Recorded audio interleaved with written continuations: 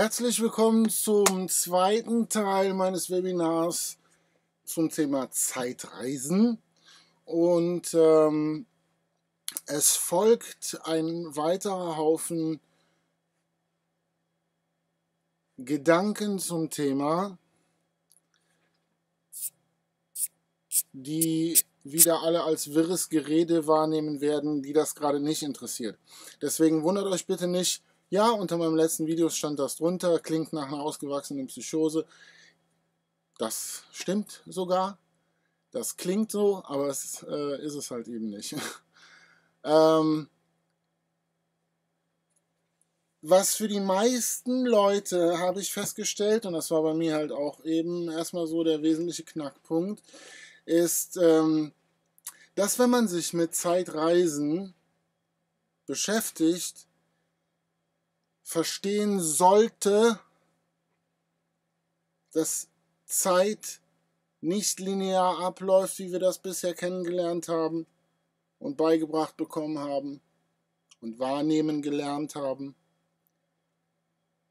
sondern eben relativ verläuft und auch im Ganzen nicht unbedingt das ist, wovon wir denken, dass es das ist und deswegen sind die meisten Leute, die mit Zeitreisen beschäftigt sind, dabei, sich das falsche Konstrukt anzugucken. Sie sind beschäftigt mit dem Versuch, diesen linearen Zeitstrang zu manipulieren. Und das ist auf diese Weise nicht möglich. Wenn man es schafft, die Zeit anzuhalten, in 2020 steht so ein bisschen beschrieben, wie es möglich ist, aber da habe ich auch festgestellt, dass es bei jedem auch irgendwie so ein kleines bisschen anders. Aber wenn die Zeit stehen bleibt, still stehen bleibt, alles andere bewegt sich weiter, aber die Zeit wuff, bleibt stehen. Dann findet man sich eben in einem Raum wieder. So, und ich habe inzwischen, dadurch, dass ich halt auch das letzte Video gemacht habe, ist auch wieder schönes Feedback reingekommen mit schönen neuen Anregungen und da habe ich auch wieder einiges gefunden, was ich ähm, hier jetzt einfach weiterverarbeiten kann.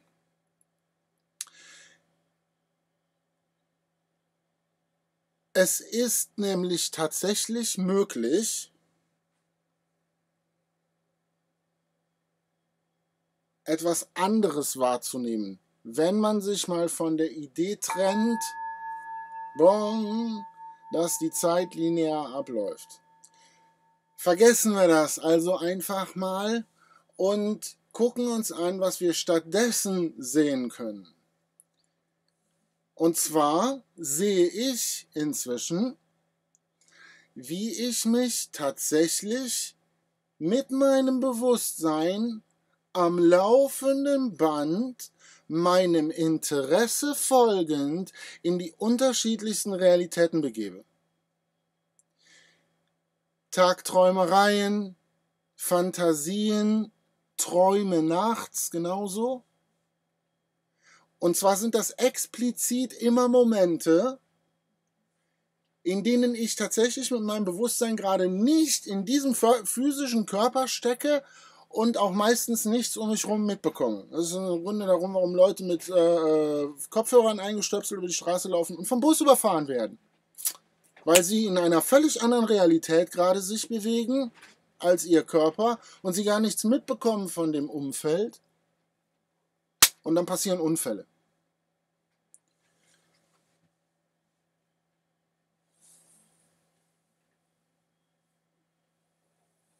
Mir ist eben ein schönes Beispiel parat gekommen, an dem man das veranschaulichen kann. Ihr kennt das in Computerspielen vielleicht, wenn ihr online mit anderen Spielern spielt, im Team ein Raid macht oder was weiß ich was, und ähm, dann stehen die auf einmal so da und bewegen sich nicht, deine Mitspieler.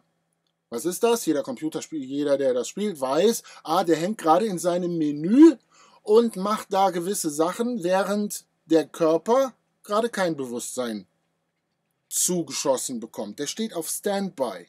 Der ist sofort wieder einsatzbereit, sobald er aus dem Menü rauskommt, seine Änderungen vorgenommen hat oder was weiß ich, und boom, dann siehst du ihn wieder bewegen und voll Action. Das passiert nicht nur in Computerspielen so. Ich äh, merke das teilweise selber ähm, und auch an, also an mir wie an anderen Menschen, dass das genauso passiert. Da sitzen Leute auf einmal apathisch und abwesend scheinend und sind mit ihrem Bewusstsein augenscheinlich gerade woanders.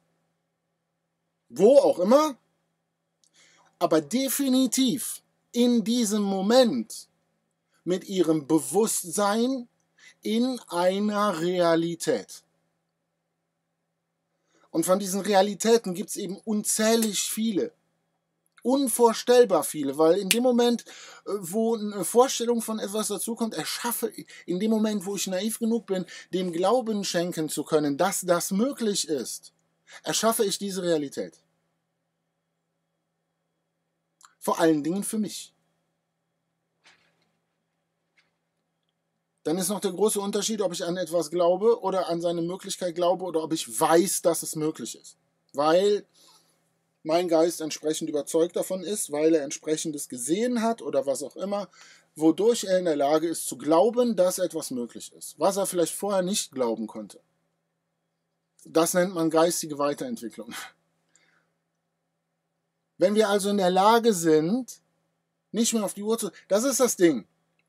Warum ich auch sage, ey, wenn Zeit existieren würde, wenn die greifbar wäre, dann wären wir nicht auf Uhren und Kalender angewiesen.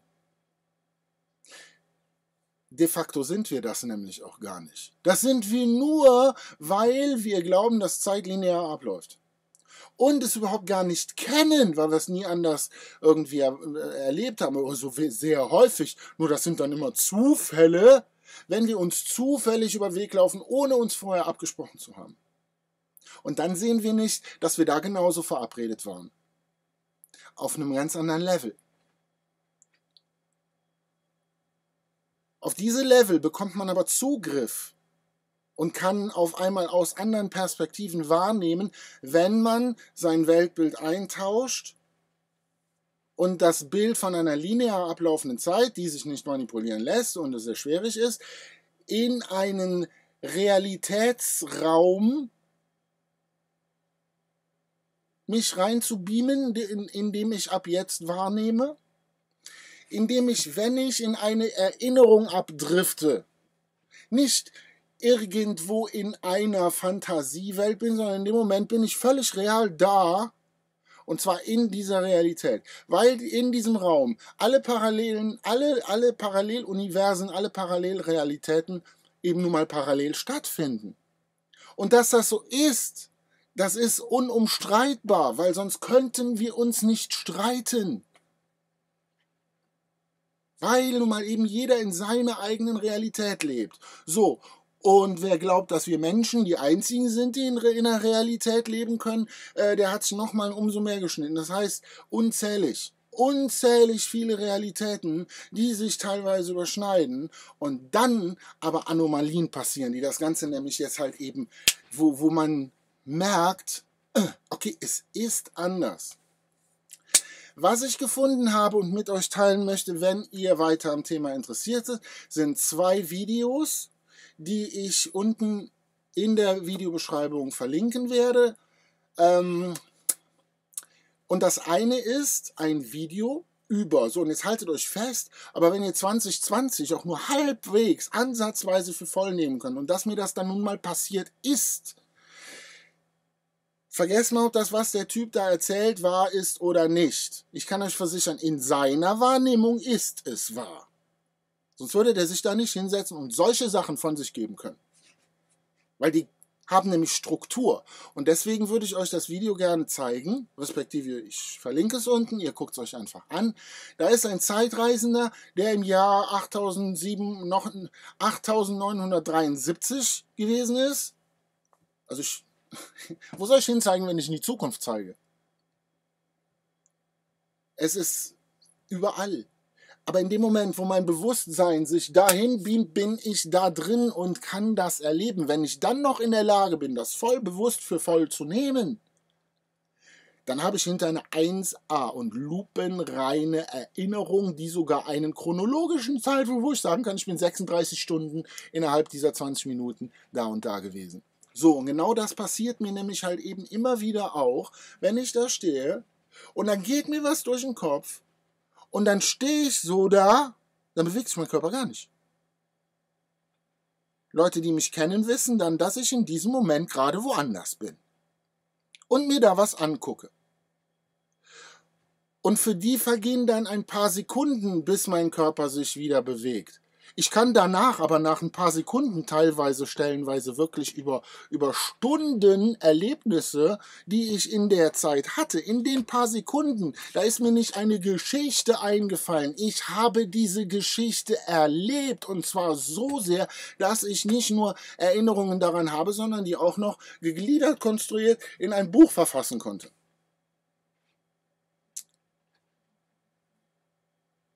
Weil das eben real ist sei keiner mehr von denen, die das übersehen. Das sind keine Zufälle, weil du driftest nicht zufällig irgendwann in, du driftest in eine andere Realität ab, weil dein Interesse dich da gerade langleitet. Ja, und für alle, die das aus 2020 schon kennen, das Interesse ist unser Leitfaden. Unserem Interesse folgen wir überall hin, ins größte Leid und ins größte Glück. Deswegen macht das sehr viel Sinn, sein Interesse mal unter die Lupe zu nehmen. Sprich, wofür interessiere ich mich eigentlich? Wo, wo, wem und was laufe ich die ganze Zeit hinterher? So, und dann merkst du auch auf einmal, dass es keine Zufälle mehr gibt, weil das alles auf einmal zusammenhängt. Du siehst die Zusammenhänge. Du siehst, warum du auf einmal vor zehn Minuten da eine kurze Zeitreise in irgendwas, eine Zeitreise, es war eine Realitätsreise. Es war eine Reise in eine andere Realität, die aber dadurch, dass ich sie da erlebt habe, ein Stück zu meiner Geschichte wurde und für mich definitiv zu meiner Realität ab hier dazugehört, weil ich habe die Erinnerung in den Kopf. Und wenn ich die nicht als Zufälle angucke und nicht irgendwie verdränge oder vergesse oder mich frage, was das soll, sondern die einfach mal in meinem Inventar, in meinem Gedankenerinnerungsinventar mal einfach mal da liegen lasse, dann ist es unweigerlich, dass früher oder später irgendein Abgleich kommt. Irgendwas, was mich dann daran wieder erinnert. Und dann mache ich das auf und, und dann sehe ich wieder mehr Zusammenhänge. Es ist also nicht die Frage, ob Zeitreisen möglich sind oder nicht, sondern die Frage ist eher, bist du in der Lage, dir vorzustellen, dass wir permanent gar nichts anderes tun, als Zeitreisen zu unternehmen, von einem Ort an den anderen, auch wenn sich das für uns wie ein Film gestaltet? Eben wie in einem Computerspiel, deswegen ist die Analogie da von, von modernen Computerspielen und Technologien zum On-Mind-Gaming, was im Prinzip einfach ein, Ab, ein, ein, ein Spiegel ist. Ich bin immer noch fest davon überzeugt, dass wir als Menschheit uns die Computer vor die Nase gesetzt haben, damit wir genau das wieder erkennen können. Wie wir eigentlich vernetzt sind, wie das gesamte Ding überhaupt funktioniert. Weil es genau eine Kopie davon ist. Nur halt eben in mechanisch. Aber das Prinzip dahinter, das ist dasselbe. Wir haben als die Götter, die wir sind, ein Abbild von uns geschaffen, das erklärt, wer wir sind. Und wenn man genau hinguckt, dann bleiben da immer weniger Fragen offen. Es kommen immer mehr Ausrufezeichen. Und das erfordert nun mal einfach, dass man einen Haufen wirres Gerede durchgeht. Weil eben genau das das nötig ist, um aus der Falle der Illusion rauszukommen. Den wirren Scheiß, der nämlich sonst halt eben auch da ist, nur in dieser Realität nicht wahrgenommen werden darf, deswegen als Spinnerei oder wirres Gerede abgetan wird. Aber das ist ja dann letztendlich mein, mein eigener Horizont, den ich damit beschränke was mein absolutes Recht ist. Ich habe jederzeit das Recht, irgendwas zu sagen, so, boah, nee, das ist für mich absolute Spinnerei. Das kann ich immer noch sagen, ohne denjenigen, der der Realität, der gerade in dieser Realität lebt, äh, äh, irgendwie anzugreifen oder sonst was. Sag ich, nee, bleib du mal in deiner Realität, das ist doch völlig okay so, solange du keinem auf den Sack gehst. Äh, mach und sei, was du. Das ist es nämlich. Wir sind hier wie in der Oasis. Jeder kann sein, wer er will und was er will. Nur weiß das keiner. Wir bekommen die, eben weil wir das können, ist es halt eben so effektiv, dass wenn man uns unser ganzes Leben lang sagt, dass wir nichts wert sind, wir keine andere Wahl sehen und die einloggen. In dem Moment, wo wir aber die Möglichkeit bekommen, das zu überdenken und auch wenn andere Leute uns toll finden, das vielleicht auch mal für bare Münze zu nehmen und zu sagen, nee, ich bin toll, nicht scheiße. Macht das unweigerlich jeder sofort. Es ist halt nur nicht in Mode weil das nun mal eben nicht dienlich ist für ein hierarchisch aufgebautes System, in dem dann halt auch die Menschenwerte, die halt auch hierarchisch gestaffelt sind und es dann halt eben die unwichtigen Armen gibt und die wichtigen Reichen. So, und wer sich das Bild genauer anguckt, der sieht, dass einfach nur die unwichtigen, die unwichtigen Armen mal einfach einen Schritt zur Seite gehen müssen, wo sie nicht mehr im, im, im, im im Kreuzfeuer stehen und die Opferrolle sind, die sie dadurch völlig real erleben, aber eben nicht müssen, genau darum geht es. Und ja, es ist immer nur, weil die Leute keine andere Wahl haben. Genau deswegen sollten wir über solche Sachen, weil das gibt uns die Wahl zurück. Das gibt uns die Möglichkeit, über Optionen nachzudenken, unser Leben zu verändern, die man uns bisher einfach nicht vorgestellt hat. Das bedeutet aber nicht, dass man das nicht machen kann. Hm? So, wir sind bei 16.16, sehe ich gerade. Ist eine gute Zeit, um äh, diese Folge für heute zu beenden. Ich äh, freue mich sehr über das Interesse, auch wenn halt gar nicht so viele Klicks auf das letzte Video gekommen sind. Aber das Feedback, was ich bekommen habe, auch via, via PNs wieder und über Facebook, ähm, hat mir schon wieder weitergeholfen. Das, was ich gerade eben beschrieben habe, ist, dass was ich seitdem ich dieses Video, was ich unten verlinkt habe als erstes, ich werde gleich noch kurz auf das zweite zu sprechen kommen, ähm, mir daraus gewonnen habe. Was sich in meiner Wahrnehmung gerade bup, bup, bup, bup, was ändert, nämlich ganz bewusst, wenn ich merke, ich bin gerade in einer anderen Realität, dass ich dann in einer anderen Realität bin. Und zwar völlig real. Wow! Und das mit einer Klarheit, die ich bisher auch noch nicht hatte. Schaut euch das Video von dem Zeitreisen an und für die, die noch nicht mitbekommen haben, was das mit dem Mandela-Effekt, der in dem Video beschrieben ist, auf sich hat, habe ich dazu auch noch ein Video verlinkt, das das ziemlich gut erklärt. Und das ist Hammer, weil da müssen wir uns alle die Frage, weil das sind so Sachen, die irgendwie jedem passiert sind schon mal. Dass man sich an Sachen erinnert, wo man steif und fest davon überzeugt ist, dass das so war und alle, die dabei waren, sagen so, nee, das war nicht so. Da gibt es nur eine logische Erklärung für, nämlich die, die ich gerade die ganze Zeit sage. Wir, leben in verschiedenen Realitäten. Und mir ist das selber auch schon mehrfach passiert, dass ich von irgendetwas felsenfest überzeugt war. Irgendwann habe ich mir so, hä, habe ich das jetzt real erlebt oder habe ich das nur geträumt? Das Video über den Mandela-Effekt gibt eine wirklich schlüssige Erklärung. Nein, ich war einfach in einer anderen Realität. Wenn wir das uns bewusst machen, dass sowas möglich ist, dann werden wir uns einen ganzen Haufen Streit und Stress und gegeneinander sparen können, weil uns das, ah, okay, nee, ist alles klar, logisch, dass du das so und so erlebt hast, bei mir war das anders. Bis jetzt habe ich das einfach immer auf verschiedene Sichtweisen bezogen. Nur jetzt wissen wir, wo die Sichtweisen herkommen. Weil die Realitäten parallel abgelaufen sind und stellenweise wir uns an Stellen wieder getroffen haben mit unterschiedlicher erlebter Geschichte. Und das kann ganz massiv große Verwirrung hervorrufen. Jawohl. Aber wenn wir jetzt einen Schlüssel gefunden haben, einen Code, eine, einen Algorithmus, der uns hilft, eine Suchmaske, die uns hilft, das Bild zu erkennen als das, was es ist, dann haben wir ja auf jeden Fall wieder einen Vorteil. So, und ich freue mich auf alles, was dann jetzt noch kommt. Das zweite Video, wie gesagt, zum Mandela-Effekt, verlinke ich auch darunter. Wenn ihr möchtet, ähm, teilt das Video. Äh, fliegen. Er lebt auch in seiner eigenen Realität, der Kollege. Wenn euch das hier irgendwie weiterbringt, äh, könnt ihr mich unterstützen, indem ihr meine Videos liked, teilt, kommentiert, mein äh, YouTube-Kanal abonniert oder mir ein, in mein Magic Hat, weil ich bin, wie gesagt, ich bin hier irgendwie Straßenkünstler, andere Leute setzen sich dann hier mit der Gitarre hin und spielen und stellen sich einen Hut dahin. Für mich gibt es dann einfach meinen PayPal-Account ähm, unter egokiller2010.yahoo.de ähm, ne, at, at yahoo.de Und äh, das verlinke ich dann auch nochmal darunter. Wer einen Euro oder zwei übrig hat, kann den ja einfach da reinschmeißen via PayPal. Und dann kann ich hier auch einfach weiter mein Ding machen, kann mein Internet bezahlen und so weiter und mich weiter mit solchen Dingen beschäftigen. Weil wenn ich jetzt halt gerade eben mich mit anderen Sachen beschäftigen muss, um Geld zu bekommen, dann kann ich das natürlich wieder nicht machen. Ganz klare Sache. Was für mich absolut okay ist. Mir ist das egal, was ich mache. Aber wenn ihr mir helft, wenn ihr mehr von dem sehen wollt, dann äh, kriegen wir es zusammen auf jeden Fall hin ich bewerbe mich quasi bei euch gerade als irgendwas.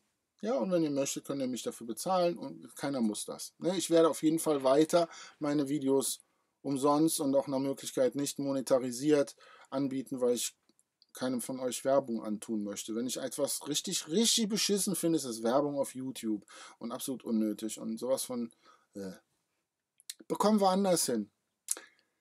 Vielen lieben Dank, äh, auch im Vorfeld schon für jedes Feedback, das kommt. Und äh, wir sehen uns im dritten Teil. Es geht nicht aus. Ah nee, da muss ich hinmachen. Äh, ich was, wo ich jetzt Leertaste drücken. Und schon bin ich wieder im Hier und Jetzt.